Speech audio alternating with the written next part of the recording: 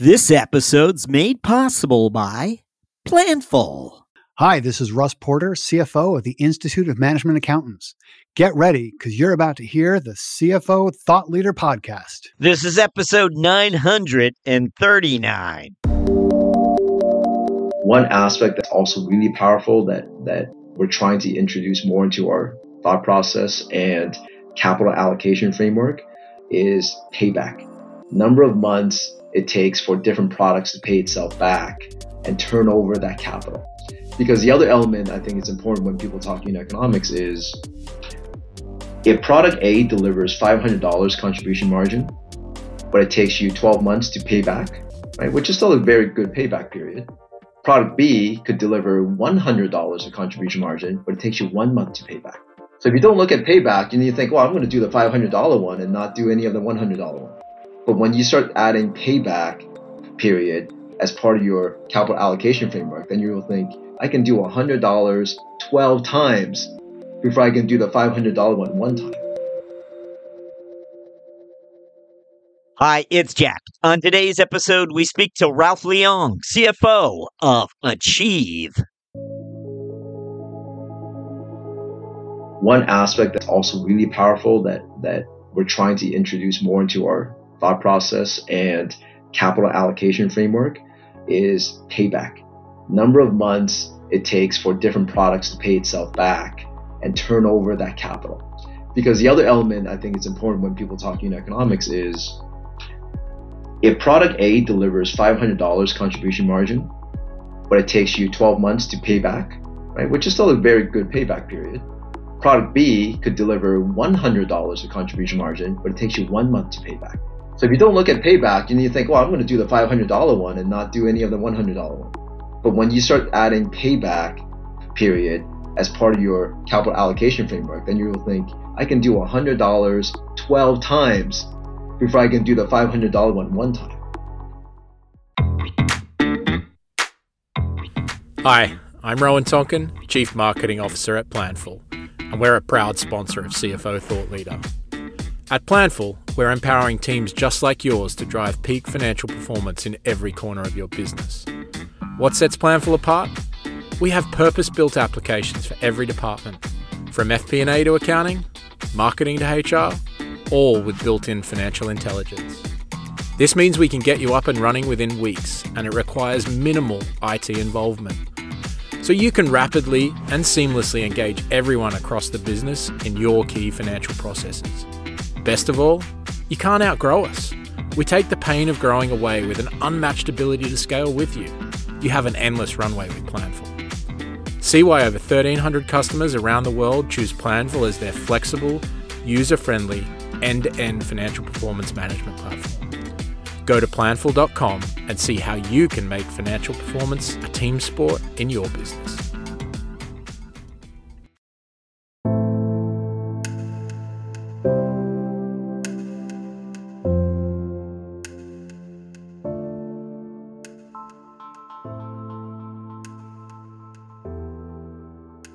Hello, we're speaking to Ralph Leung, CFO of Achieve. Ralph, welcome. Hi, Jack. Thanks for having me. So, Ralph, uh, we're going to ask you to look back. No surprise there. We begin every podcast the same way. But every finance leader sort of has a different set of experiences. So, we enjoy asking this question time and again, which is to have you look back and try to identify for us those experiences you believe prepared you for the role? What would those be? Yeah, that's, that's a good question. Like the first chapter coming out of undergrad, where I was a finance major and accounting minor, um, I went into strategy consulting. So it's not not related to finance. It was uh, with Andersen Consulting. So if you may remember, some of your listeners may remember way back in the day, pre Accenture, post Arthur Andersen spinoff. You know, I joined the strategy group. And that was the first time in my career where I felt like someone was teaching me how to think. Right? How do you think properly? How do you think with a framework? How do you think with structure? And how you work with a lot of data, but be able to approach data and articulate your thoughts in a structured manner.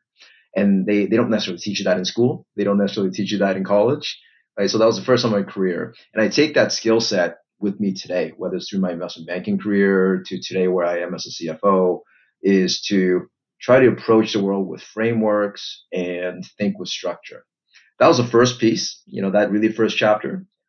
And then I went, I was there for about four years, went to grad school, post grad school was my second chapter, which was in investment banking. Um, and within investment banking, I was at Morgan Stanley for about a decade. I started off with your more traditional mergers and acquisitions, so M&A focused on financial institutions. And back then I gravitated towards a group for fintech.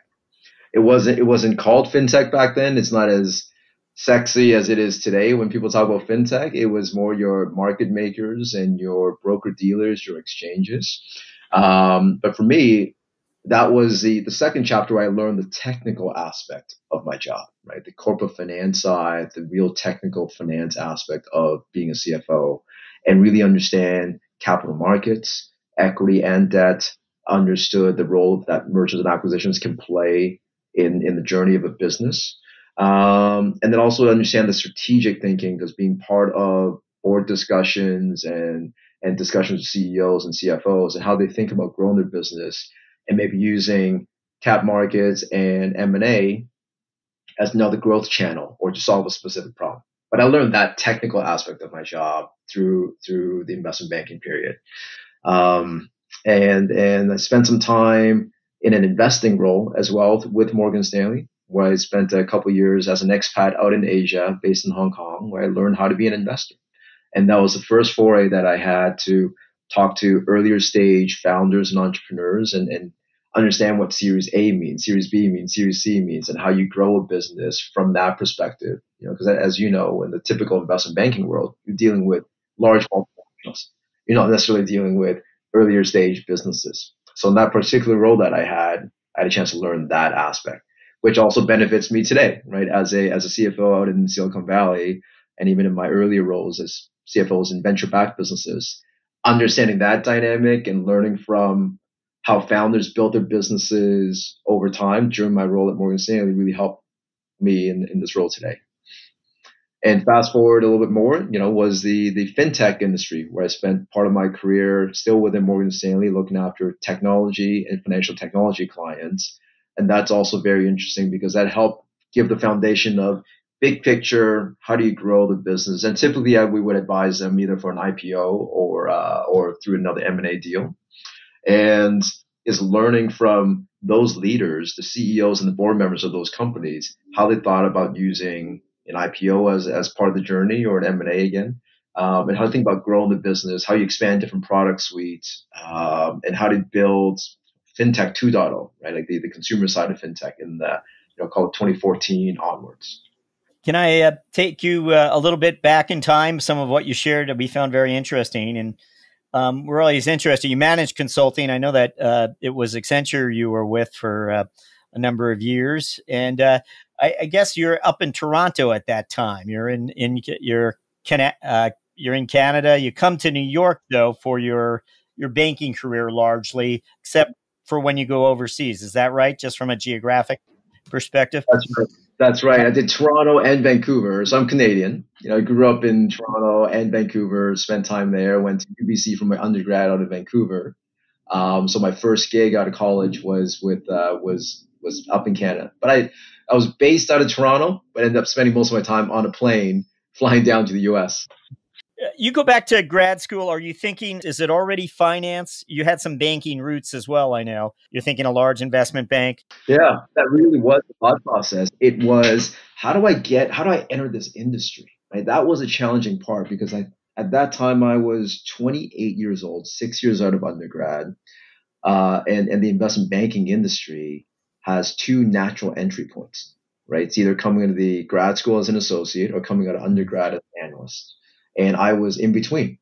So in order for me to actually enter the industry, I needed to go back to school. So I went to went to get my MBA with that objective in mind is to study, learn, but ultimately end up on Wall Street, end up in a large investment bank, um, and you know, what it is that I needed to get there. Right. So I went there with an objective.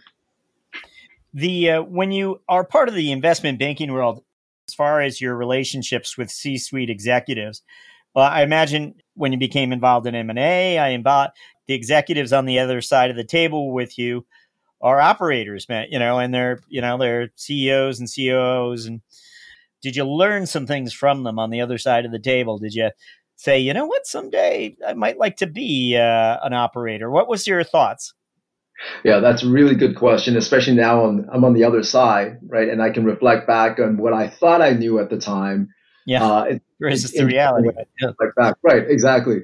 Um, you know, back in the investment banking days, you know, I was always impressed and learned from all of our clients. Right? And then whenever I had the opportunity to sit down with the CEO, CFO, uh, and just hear them how they speak about the business very strategically. Right? They thought of deals as as a vehicle to accomplish something else. Right? Like deals were deals because you're solving for something greater. Whether it's strategic, you're trying to expand and you're looking at acquiring either for product expansion or geographic expansion or market share capture or something, but it's to accomplish something. Whereas back then on the investment banking side, like deals were the end all and be all, you know, for for what we did, right? We thought the deals were the cool part. And and you know, it still is, it's exciting. But speaking with the operators, learning from them and being an operator now, I can really understand, you know, deals is part of the journey to help accomplish something greater that's strategic for the business. Let, let me see if I can jar your memory a little bit. Uh, there must have been a deal that you were bullish on, and maybe your colleagues were, and the operators on the other side of the table. No thanks. You know, the day the deal a deal went south for you, or maybe it was just circumstances around a, a transaction that just couldn't get done anything anything you can reflect back on for us? I've got one example. It was a failed IPO that we worked on for for probably two years, you know, which is an unusually long time, right? Um, and it was for a relatively new sector, um, and the business, you know, we had been spending time with the business. It was a, I would say, a market participant type business. So like the old school 1.0, the institutional type of fintech back then. Market participants, um, broker dealer trading, online. Think of it online trading for a different asset class that was not as commonly available. Right? When you and I log into E Trade or Schwab, like you can trade ETFs and equities, etc. But back then, we're working with a client who similar business model, but it was in a different asset class. It was in foreign exchange, and it was fairly new. Right, there was no public companies that were that were traded like that, uh, and we worked our way through as a lead left book runner to try to run that deal across. Uh, we learned from a sector perspective that it would it would have been a new learning for a lot of investors to get comfortable with, because when you when you go outside of that and you're thinking foreign exchange you know how much of that is true principal trading how much of that is agency trading what is the true risk level? It's a complete unknown. And it took a lot of time to educate investors on. And we thought we can get over that hump by you know, whether it's industry research and just demonstrating why we're a profitable business. And i think what we failed to realize was investors they're oftentimes their goal is to not make mistakes, right? Not necessarily go make sure they have the biggest wins, but also not to lose money, right? As investor 101, right? And you know that was that was something that we had underappreciated in terms of how difficult it would be to sell through some of that narrative, right? That hey, there's a lot of upside here. That uh, it's a new industry. We're going to take this company public for you, and you should participate in now because there was just enough uncertainty in that particular business model um, you know, and we we tried for two years, which is an unusually long time for an IPO. It ultimately did get shut down. Uh, didn't get the deal done, uh, despite investing a lot of time and efforts and you know a lot of great energy into working with the C-suite of that business. Um, we ended up doing it again, you know, another year after that. You know, after we got more investor feedback, reposition the company? How do we tell that story? The operating side also changed parts of the business to make it more public company ready. So we learned a ton through it rather than just trying to sell through certain obstacles. You know, some obstacles are just meant to be corrected or resolved before we can try it again. So ultimately we did that. The overall process took three plus years, which is extremely unusual for any any company to go through that lengthy process for an IPO. Uh, but we ultimately did get it listed, and um, you know, and it's traded since. Um, but you know, even after as a public company, it did struggle at times because it was relatively small. Because a lot of investors still could not ultimately get comfortable with it, which meant it had a smaller market cap. And when you have smaller market caps, uh, you have fewer investors buying in and out of the the company. You don't have equity research, so it did end up in a in a in a tough place as a smaller public company. So lesson learned was, you know, you don't necessarily have to push. Sometimes going public may not be the right decision for certain businesses, right? And investors need to exit. There are different ways you can still find that exit for the investor, and the public company route may not be the right route, the right path. And even if you get to listing, staying as a public company is also not the easiest thing to do. When was it that uh, you would say that you sort of got the operations itch? You made up your mind that I'd like to get to the operations side. I, and again, I know you joined uh, Achieve in 2021, but I'm sure it was back in, uh, I don't know, 20, 2012, 20. When, when, did you first begin to think? Uh, like seriously thinking about it, it was in 2014. It was in 2014. Um, I was in the super lucky position to be part of the Alibaba IPO. Uh, and and as you may recall, you know it's one of the largest IPOs in history still, and you know they had hired our bank, Morgan Stanley, to be the lead left investment bank to help them underwrite that process because it was such a large business, um, a lot of complexity, different businesses within the broader umbrella. That gave me an opportunity to really learn about the e-commerce space, about cloud business, about consumer fintech, and really dig into understanding business models. Um, and for me, that was the first time where I seriously thought, you know what, there's so many interesting aspects of this business. That's not even deal related, right? It's the, you know, how do you run a massive e-commerce business in a country where, you know, consumer internet and mobile penetration is so low. So the upside is huge, even though currently they own 60, 70, 80% of the market already. Like, how do you grow a business like that? It has nothing to do with the deal. It's true operating one on one, right? Or you have a great consumer business um, that is in the fintech payment, peer to peer payment side. Well, how do you build a super app out of that business? It's like for me, that was in 2014 when we led that deal. When I got what did that raise again? I forget what the uh, the IPO value.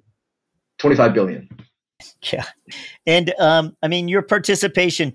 Uh, I, am sure they had quite a team involved, but uh, did you have sp- exposure to their their upper management? We did. The- we did, yeah. Yeah, we absolutely did. You know, with with the most senior level of that company's management, uh, it was over the course of 14 months when we spent significant amount, amount of time preparing that IPO process. Um, but we learned a lot. All of us on the deal team learned a lot from the management team because it's such a large and complex business that that encompasses you know, you have an e-commerce business, you got a cloud business, you have a data analytics platform, you have a consumer-facing payments business and a consumer-facing fintech super app, all encompassed into one. So that really made us focus and and learn about the different aspects, and then bring it all together of how to tell that story to to Wall Street. And again, uh, I began. We began by uh, asking you when you got your operations itch. It was during that uh, transaction during that, you know, understanding the size of that business and, you know, everything it takes to operate it correctly intrigues exactly. you. Huh. Exactly. And just, just being so close to the leadership team and just learning from them side by side and seeing what they do day to day, right? Which is not about the deal, right? It's truly about running a business and the complexity it took to run something like that. So when you do a segue out of investment banking, isn't a recruiter or how do you enter the uh, the corporate world? It, it was a recruiter. It was a recruiter. And for us, my family and I, we went out to Asia as an expat thinking it was going to be a two year stint. My wife and I had just gotten married at the time. We thought, hey, this is going to be a fun experience for the two of us. Then we had a first kid out there. Two years became three years. Three years became four. We had our second child out there. And eventually it was time to come back home. I come back home to the US. And a recruiter tracked me down and, and presented me with an interesting opportunity to come back to the US uh, and take my first operator role as a regional CFO. So, as you began evaluating opportunities that were out there uh, to be an operator, to step into a CFO role, what is it that's attracting you? What is it that, uh, you know, what type of business are you interested in joining? So it's it's a good question because now my perspective is quite different from you know, eight years ago when I first left banking to become an operator. In the very beginning, it was much more about interesting business models, and that was really the main whole. Right? What are some interesting technologies, cool technologies, potential large TAMs that we can think of, like that that can really grow into the next big thing? Um, and I say the first couple of businesses that I were in, you know, certainly check those boxes. Yeah. Right? The first business that I, I joined was called Eco, and it is a hybrid between, you know, think of if Samsung combined with Apple, combined with Netflix, and you merge some of those products into one, right? You got the the the TVs plus the phones plus the digital content all combined into one user experience. Right? That was the first business that I went into. Uh, second business that I went into as CFO was I was the, the, the Uber for um, uh, 1099 workers, right? For but for groceries and consumer packaged good industry. And when you think of that industry, a lot of the pick and pack inside a grocery store, a lot of the stock in the shelves, when you see behind the scenes, you can create an Uber-like 1099 model for that, right? And this was the software, the platform that had the two-sided marketplace that can bring together your Pepsis and Frito Lay's and Coca Colas of the world that need stocking and back help right, and back office help in the stores, and then the 1099 workers who wanted to pick up gigs, right? So that was that business model. Um, then the third company I went into was Five Stars, and that's where the thought process changed a little bit, right? Five Stars, definitely great technology because it it, was uh, a mix of, it was one of the very few mix of CRM software for small medium businesses um, combined with payment processing into into one integrated pay plus CRM business. Well, that business was started to basically help local mom and pops, right? And that's where my personal philosophy has started evolving a little bit. Instead of joining companies and chasing after really cool technology and company opportunities, this business stood for helping local mom and pops, oftentimes immigrants, um, you know, immigrant founders for local mom and pop businesses, to try to give them the technology that enterprise companies would have, right? So in terms of CRM, and to compete, right? How do you compete with big franchises, with big, you know, retailers, and your local mom and pop? And and that mission really changed how I thought about what kind of companies I want to work for next, right? Where there's a mix of a double bottom line approach, where you want to be in it to make money, right? And, and, and do right by your investors. But there's also the, the heart component to it, right? Where you are doing it to help people. And, uh, and Achieve is very much the same way, right? Achieve is, is, is a company that was built to help everyday Americans get back on their financial track and get back on a better financial footing that's a good cue, uh, a good segue for me to at, pop the question to you. Yeah, we want to find out about Achieve. So tell us about this company. What does it do? What what are its offerings really? Yeah. Um, so Achieve is a 21 year old business today. Um, it was started from founders coming out of Stanford grad school, um, Andrew Housser and Brad Stroh coming of Stanford grad school in 2002. Their thinking as at the time was they looked around the, the, the market they looked around the economy and recognized that middle class Americans often needed the most help to get back on the right financial footing. They also recognized there were a lot of companies out there who were preying on this group, right? Uh, whether it's your ultra high cost debt, uh, debt providers, um, you know, that are pursuing this, that are preying on this group. And we wanted to use technology and use data and use service to help this group instead of giving them more debt and putting them into greater debt. And that's just that's just a simple premise of, you know, of why they wanted to start this business is to help everyday Americans. Uh, fast forward to today, Achieve has multiple products, and we are the market category leader in, in one core one, which is debt resolution. So debt resolution, in a nutshell, is a think of it as a financial rehab program, right? Someone who may have undergone some type of life event. So think divorce or lost a job or family illness, something happened in your life. You used to be a great FICO borrower and something happened in your life and then it knocked you down. Right? And now you're stuck in this near prime segment where you may have a mid 600s FICO score. The big banks are no longer really focused on banking you, right? Because you got knocked down a notch and you're stuck in this world. Like, well, how do I, how do I fix it? How do I get back, you know, to where I used to be? Um, and that's what this program is for, right? Is to say, Jack, you know, if you have undergone these issues and you have racked up you know, $50,000 in debt and you've got eight different credit cards and you're just barely making your monthly payment and you're just stuck in this purgatory. How do I get out of it? Right? And the rehab program allows you to do that. Right? You would join the rehab program. You know, we've built over the years because we've done this for 22 years or 21 years. We've built over the years, you know, our own machine learning engine that can optimize. Okay, Jack, come into the program. Here's how we can help him negotiate and settle a lot of that debt with these creditors. So then there's a win-win-win, right? A win for you, Jack, because you're able to graduate from a program with with no debt or much less debt with a higher FICO score. The creditors also get some of that balance back, right? Because otherwise you may have declared bankruptcy, you may have stopped paying. And then in terms of us, we have a happy customer that we feel like we were able to help them journey back to where they used to be. Right. So that's the core product that we built the business around created that category 21 years ago, and now we're the national leader in this business.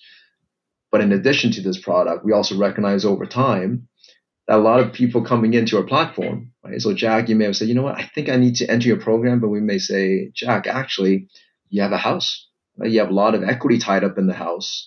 You don't have the liquidity to get out of it because you know the big banks may not be providing a second mortgage or a FICA or or a HELOC for you, but we can help you with that, right?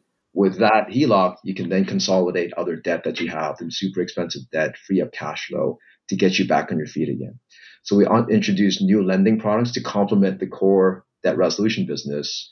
And fast forward to 2023, now we run this as one central, one unified platform. We went through a rebrand last year. We used to be called Freedom Financial Network with multiple sub products and sub names. We brought everything under one house, under Achieve and now we can service you know, everyday Americans under one, one roof. They come into the business, and we can figure out what the right path is for them to help them out. So uh, along the way, what uh, we're interested in how you might have uh, changed the finance function in some way. Was it uh, again? You arrived in 21, so two years later, but there's been this rebranding. There's been this new umbrella over a, variety of offerings. Has the finance function had to uh, you know, be enlarged, be changed, modified? What would you tell us? It it has, you know. So I I got pretty fortunate. I came in, inherited a great team, inherited a great function, um, but that function and team was built for a different period of Achieve. Right, it was built in pre-COVID through COVID, where the objectives at the time was um, you know, making sure books are closed, making sure we have the foundational elements. And I've heard, you know, in, in other episodes that some of your your other CFO guests come in and talk about building that foundational element, right? Whether it's your ERP systems to making sure you have the right financials, making sure you have the right reporting, so at least the management team has visibility. So I got lucky that when I came in, that foundation was already established. So since I've been here, though, my job has to, you know, has been to take that foundation to start adding levels on top of that to turn it into a more strategic, forward-looking, uh, strategic function where I built up strategic finance as a separate team. We beefed up our FP&A capabilities because now we want to help be at the table, work with the business leaders um, to give them the right insights so then we can make better decisions, about better, that, smarter decisions. I'm sorry about that FP&A capability that you built up. I mean, does that mean one or two new hires? Does that mean new tools? When you decided to say, how do we establish this? What what where was the investment made? Uh, both, actually, both new hires, uh, not just number of bodies, but the type of hire that we're bringing in. Right. So I'm I'm going to just club um, FP&A and strategic finance into one, right? Where the folks that we've brought in since I've been here have been the the forward facing strategic finance background people where they can look at um, not just how financials are reported and what they actually mean and you and you read out you know variances etc but also use finance partner with leadership to help solve problems and provide insights. So let me give you a couple examples. It's built up tooling too. So for example when we think of go to market right? And we're acquiring customers through digital channels. Um, we, Strategic Finance and FP&A, partner with the marketing team, built out the tooling so that now we can look at if we're going to spend, you know, call it $20 million a month to acquire customers through your typical digital channels, how do you optimize that $20 million? Right? Ideally, have visibility into which channel, which effort, which state, which city, right? And you have detailed unit economics for each of those. Then you should be able to just waterfall from the most profitable state, right, to most profitable channel and effort. Then your next dollar goes towards the second most, third dollar goes towards the third most, and you can waterfall down. And that's how you should spend your money, right? To maximize your ROI versus without the tooling, without that type of thinking, you could just be spending $20 million and you get the full spectrum. Some may be negative contribution margin, some may be positive, right? But you just get one big batch instead of being very surgical to go from top to bottom, right? So that's just one example of the tooling that we built, but it starts with bringing in the right people who can then build the right tooling and can work with the work with the business and educate them on that mindset. We wonder if there's a business dynamic or particular measure that you have sought to educate the organization about. It might have been one that was just not getting the attention you thought it deserved as you arrived 20 back in 21. Is there some measurement or a business dynamic that you have sought to make the uh, educate the company about and bring it to it, the attention of uh, managers or some part of the organization? So I've got two examples. You know, one of them I'm going to say for a little bit later on in, in a different segment about the aha moment. Um, the one I'm going to share with you now is is more just about reporting and process and cadence, right? So one of the we've since I've joined, we've always had a typical monthly overall business review, right? We go through a financial pack and all the leaders join. Uh, we will walk through how do we do last month? How do we do versus plan? What are we going to do next month? Right? Your very typical reporting out package. Um, what we added to that visibility is regular cadence within each month where we look at just the operating KPIs, right, where we double click on certain KPIs that really drive our forward looking bookings or forward looking rec- uh, revenue recognition and so forth, um, as well as a separate one that talks about pure financial KPIs to understand where we need to go, um, how are we tracking towards our plan on the finance side, and then what strategic decisions we have to make, what do we have to debate, so instead of the traditional approach of you go through and you present a bunch of slides and this is your monthly business review, is to bring in these two separate smaller group discussions where you double click on each of those variables and the discussion is focused about what are the challenges, what do we have to debate, what decisions do we have to make for next month and next quarter. Right? That cadence that we introduce, so that that process uh, type of meeting in a regular cadence, helpful because then allows us an opportunity to debate certain topics and focus on decision making rather than an hour of reviewing a deck that's more passive and, and backwards looking. Nice. Thank you for that. It would seem finance leaders have begun to more closely examine how their organizations are leveraging AI and whether there are hmm. areas that might be lagging in terms of costs and time savings as well as, as well as some of the strategic benefits that AI might offer. Has your team undergone a AI reality check lately? Well, it's it's funny you bring that up because just last month we had a company-wide hackathon. Uh, we had launched this hackathon it because of the of AI being much more topical, and we wanted to open this up to all of our employees. Right, it was company-wide. Um, Three thousand people were able to submit ideas raise their hand to join different teams. And we ended up having 35 teams, over 140 employees. And the ideas range from looking at how do we use AI and data to improve our current processes, create new products, create new ideas and tools.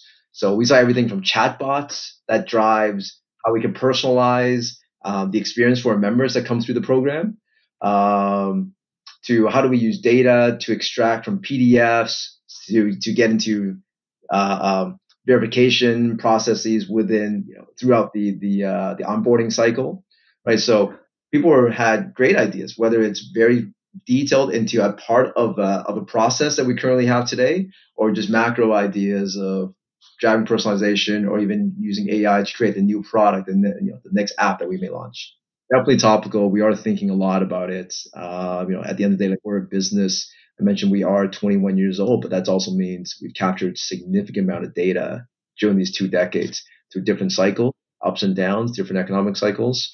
Um, and And a lot of the questions, how do we use that data to our competitive advantage? and hopefully use some AI to to build into the uh, the day to day processes. Well, we're going to jump to our finance strategic moment question, where we're just asking you to share a moment of insight that you've had along the way. We we know you've had many of these, but what would you like to share with us? So the the one that I thought has been most impactful. It's happened a couple of times uh, in my career, similar. Uh, once at Fivestars, you know, and I'm living it right now at Achieve also. It's when people talk about unit economics, there's so many different flavors of unit economics. And I'm sure all your guests have come in and talked about a bunch of different flavors. You have the customer level unit economics where, you know, with multiple products, you can drive lifetime value, right? You have product level unit economics where you want to make sure that with just one use case, one product only, you know, that you're making money on a per product level, right? So people usually measure the contribution margin that each product can deliver or the net margin each product could deliver. One aspect that I realized last company and this company that's also really powerful that that we're trying to introduce more into our thought process and capital allocation framework is payback. Number of months it takes for different products to pay itself back and turn over that capital. Because the other element I think is important when people talk unit economics is if product A delivers $500 contribution margin, but it takes you 12 months to pay back, right? Which is still a very good payback period. Product B could deliver $100 of contribution margin, but it takes you one month to pay back. So if you don't look at payback, you need to think, well, I'm going to do the $500 one and not do any of the $100 one, right? But when you start adding payback period as part of your capital allocation framework, then you will think, well, Jack, I can do $100 12 times before I can do the $500 one one time. Right? So from an enterprise level, when you factor in payback period and how efficient you can use that capital, right, then you'll conclude that, you know what, maybe that second product that may have a lower contribution margin per unit, but because it's so much more capital efficient, that may be a better strategic path for us to allocate more capital to. Right? And I think for me, that was definitely an aha moment when I was at Fivestars and we're trying to crank out efficiency and productivity and think of you know where do we allocate capital, especially during COVID for you know, most companies where capital was was scarce, um, and even today, right, where we have a much larger business. Our problem today is we have too many opportunities, right? And with too many opportunities, just got to focus and figure out where do we direct capital towards to maximize your ROI, and that's strategic for the future. And introducing this payback in terms of number of months, combined with unit economics at the product level, combined with unit economics at the customer level, thinking about it this way has helped us a lot. From episode 924, this is One Minute with Rob Goldenberg, CFO of 6sense. I take the total ideal customer profile and then I hit another button. I call it the TAM Now button right? Who's actually in market to buy a product like ours or has a pain point that our product addresses? And that gives me an, another list. Then I take both those lists and do what all CFOs do and just apply a dollar amount to each of the companies on that list. And now I have our TAM.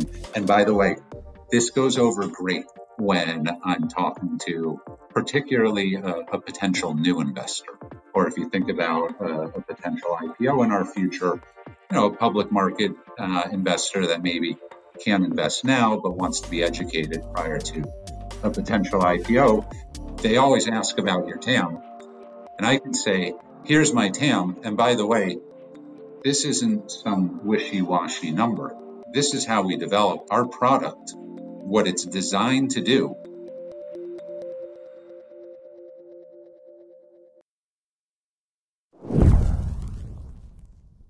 Uh, we are going to jump to our mentoring round where we'll ask you several quick questions intended to inform and inspire future finance leaders. We always like to have you look back to that first 60 days when you first stepped into a CFO role.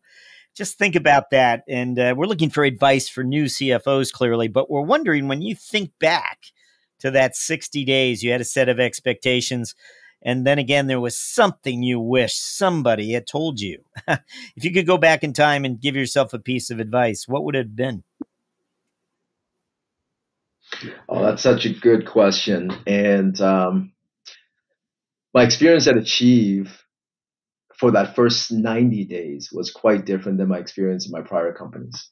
Uh, and I think in, in, a much better way, which which answers your question here. When I first got here, the mandate was take your time, learn the business, don't come in guns blazing, and you know try to add value and sound smart, and um, be very secure. Come in, be very secure, take your time, learn the business, invest as much time as you need to build those authentic relationships up front, right? And then after 90 days, you know, so, you know, during this period, start jotting down all your insights, all the thoughts that you have, but just learn. Take your time to learn, right? And then after 90 days, you know, then you can start contributing. Then you can start thinking about what it is that you want to prioritize tackling and how do you work with your business partners. And that's very different than my approach in my prior companies. I think a lot of it was I'm still learning the CFO gig. You know, I am learning how to be an operator. Um, and and you know, like other guests have also said in your show, right? There's a little bit of imposter syndrome, right? You have your own insecurities. Like you want to come in and demonstrate this is why you hired me, right? This is the impact that I want to have right away. And don't take that time to learn the business to allow you to make better recommendations and be a better business partner. And I've always felt that pressure. Maybe it was put on myself, but I always felt that pressure two companies that I was CFO at until when I got here, where the founders said to me early on to just take your time, right? We don't want you to actually, we actually don't want you to do anything, you know, in month one. We want you to learn and build great relationships because you're going to be here for a long time and you have plenty of time to add significant value, right? So someone finally said it to me and, you know, I would love to share that advice with, with people who are taking not just a CFO role. I'd say in general, when you join a new company is to learn the business first and, and you know, try to hold back and, and deal with your insecurities and, you know, not try to add value right away and try to sound smart and make, you know, um, learn the business and nice. make you a better partner. Ralph, we'd like to ask our guests to reflect a little on the personal side. We're wondering if you have a habit, part of a daily routine, something that sets you apart. Uh, Ralph's always done this. Not really certain why, but it's what people know about you. It's sort of like uh, what they point out, and it might be something a family member would point out to us. Yeah.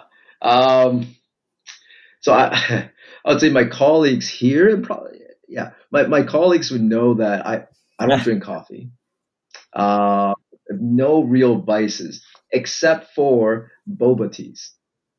So I do drink at least one a day, if not even more, and that's you know that's my happy place. And, and they just what what is it? Uh, sorry, bubble boba teas, right? So bubble teas or boba teas, and uh, and you know they know that I have at least one of these a day, and oftentimes when they when they know that it's about to they're about to have a difficult conversation, they would bring a bubble tea with them.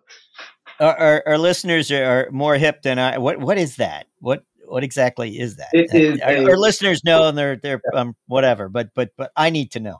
I, am going to find a way to send you one. Um, but it is you know it, it's just it's is it refrigerated? Is it something you can find in any? Uh... Sure. So it's it's different flavors of tea where there are tapioca balls at the bottom or different types of toppings at the bottom. I'm looking at them now online here. They look they look yeah, tasty. You got to try one, Jack. I'm game. Bubble tea. Ralph, what about a, a book selection? Would you have one for us? The the one that so there's two that I have in mind. Uh, three actually. Two of them I read a long time ago in grad school that really helped. Like I remember it till this day because it's it's so important part of my my career switch from consulting to investment banking. And and I'm sure many of your leaders, uh, your readers have read this too. It's Liar's Poker and Accidental Investment Banking, right? So I think those are two famous books back in the late 80s, late 90s, and early 2000s. The one that I'm reading now, though, is is uh, is the Andre Agassi book, you know, Open. So I, have always been a tennis player. You know, remember back in the day, Michael Chang was was the you know the famous American Chinese American tennis player, and yeah. I think just most like most Chinese Americans and Chinese no. Canadians who play tennis aspire to be the next Michael Chang, and, and I was certainly one. Uh, but my favorite player was Andre Agassi. You know, through the whole journey with the long hair, the neon, images everything commercials, but through the full ups and downs, right? Where he peaked, he got it. Yeah. And there were there were climbed there were back to be number one in the career. world. Yeah. You know, completely different approach. Like it just shows how even for someone like that to be able to still learn throughout their career, right? And to go through the ups and downs and come back and still come back to the top, right? I actually wrote my MBA application essay about Andre Agassi. So for him to have the book to come out, you know, many, many years later after I graduated was was nice to to read it. Wow. Great, great story for us. Great, great selection for us, uh, Ralph. Thank you so much. We are up to our final question for you, which is to ask you to look forward uh, for the coming 12 months and share with us what your priorities are as a CFO. What would those be?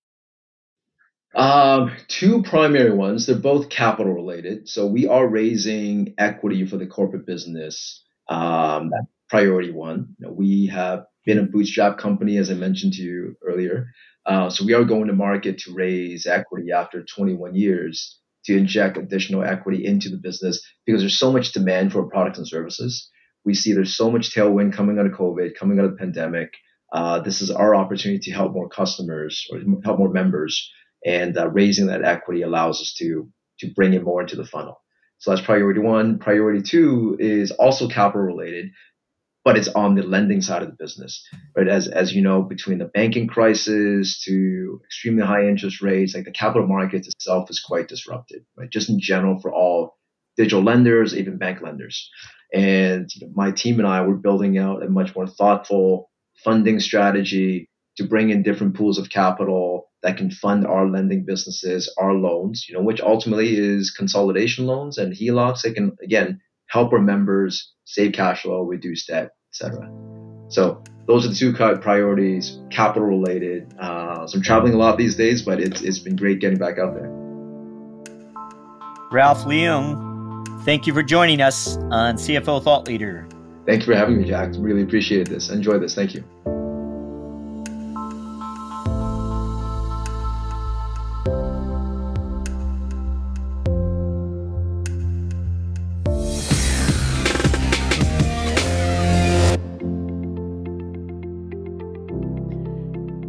Thought Leader listeners.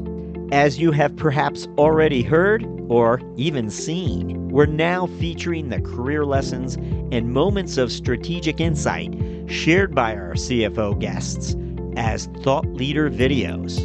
You can now find these videos on our blog at CFOThoughtLeader.com and, of course, our newsletters, but also on LinkedIn. If you haven't already, please go ahead and follow our CFO Thought Leader LinkedIn company page. And you'll be certain not to miss a single Thought Leader video debut. CFO Thought Leader, the number one thought leadership platform exclusively for and by CFOs. As always, thank you for listening.